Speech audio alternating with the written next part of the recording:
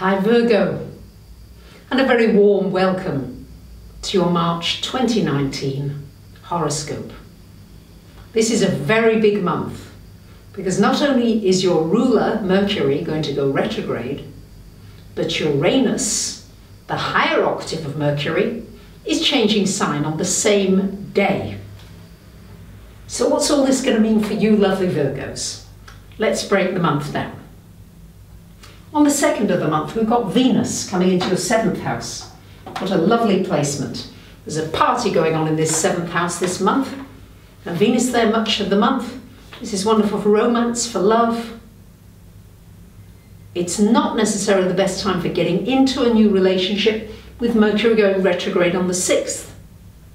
However, it is a wonderful time for re-evaluating your relationships for looking at the way you communicate, for looking at how you listen and hear what somebody is trying to tell you, whether you even understand what they're saying. So it's a wonderful time, really, to just look at your needs, what you want in a relationship, what are you dreaming for with Neptune there.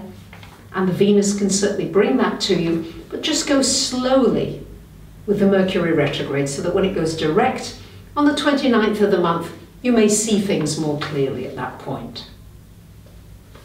And so this is on the 6th of the month, Mercury going retro. I would be very careful about signing contracts and doing important deals and any kind of partnership situations during the retrograde between the 6th and the 29th. If you have to, just make sure you get the documents checked very carefully. And so on, also on the 6th, We've got Uranus joining Mars here in your ninth, and Uranus is going to be in that ninth house for you until 2025. So what does this mean?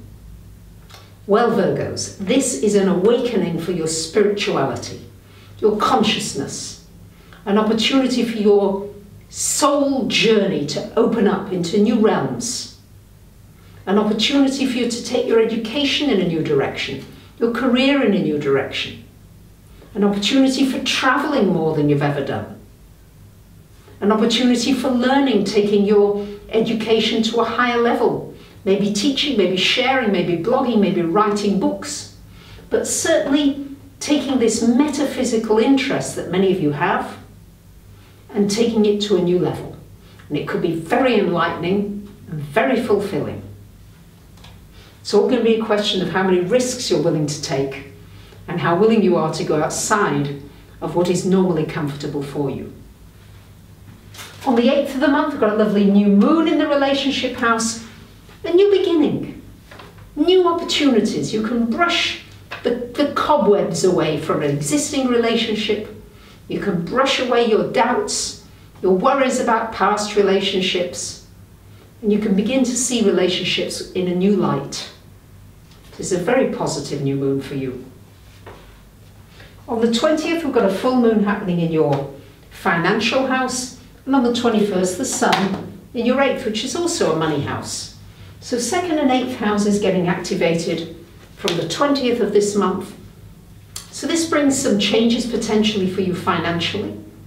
Maybe you need to budget differently. Maybe it's time to earn a living in a different way.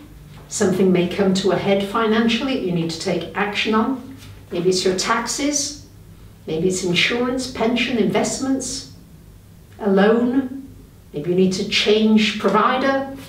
Lots of change opportunities in the financial area, which could be very positive.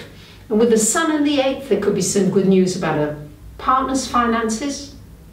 Maybe some good news, somebody investing you, sponsorship, sponsoring you, giving you a grant, and also shining a light for you to really go more deeply into your spiritual journey, to maybe face some of your fears and to bring them into the light and see that when you shine a light on them, they've no more, no more power over you. So there you have it. It's an exciting month ahead for you, dear Virgos. And um, thank you very much for listening, for commenting, sharing, liking, and subscribing. Bye for now.